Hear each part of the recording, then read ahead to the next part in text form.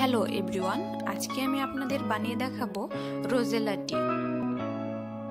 এটা এক প্রকার ফুল দিয়ে তৈরি করা হয়, সেই ফুলটির নাম হচ্ছে রোজেলা। চলুন দেখে নেই এই শুকনো ফুল দিয়ে কীভাবে চা তৈরি করা হয়।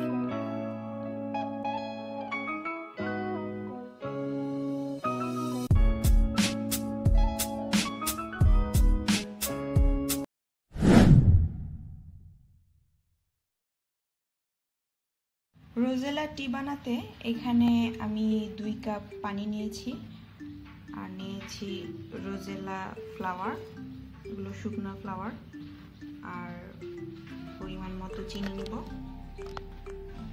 অর্গ্যানিক রোজেলা ফ্লাওয়ারের প্রাইস হচ্ছে ইন্দোনেশিয়ান রুপিসের সত্তর হাজার রুপি। এটা বাংলাদেশি টাকায় চারশো পঁয়ত্রিশ টাকার মতো। এটা দেখুন, কেমন শুকনা ফুল, অনেকটা শিমুল ফুলের মতো না দেখতে? দুই কাপ পানি আমি নিয়ে নিচ্ছি।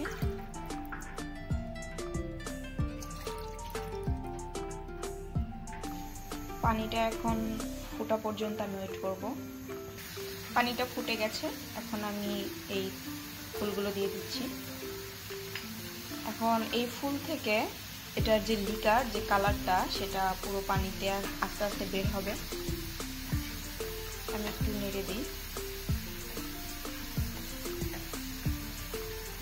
মানে এটা সিদ্ধ হতে থাক। দেখুন, ফুলগুলো আস্তে আস্তে বড় হচ্ছে। পানির কালারটা চেঞ্জ হয়ে যাচ্ছে।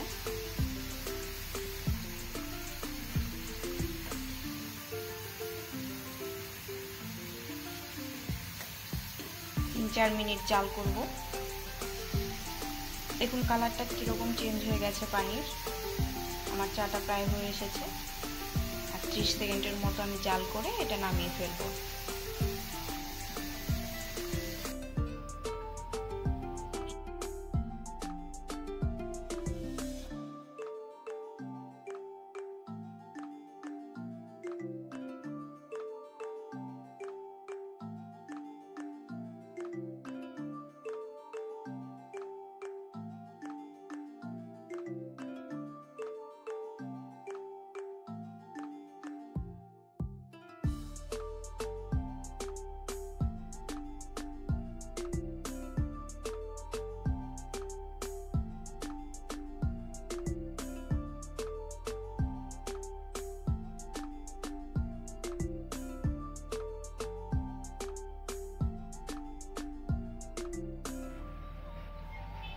আমি এখন এতে পরিমাণ মতো করে সুগার মিক্স করব।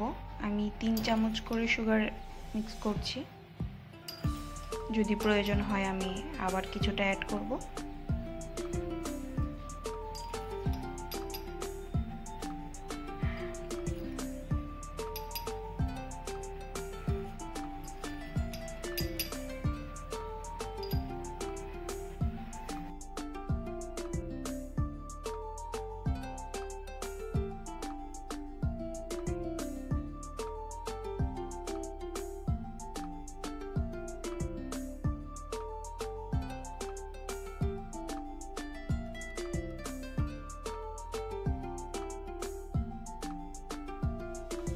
এখন এটা টেস্ট করব।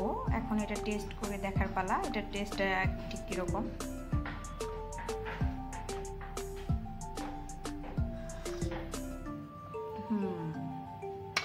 টেস্টটা ভালো এবং আমার কাছে এটা ভালো লেগেছে।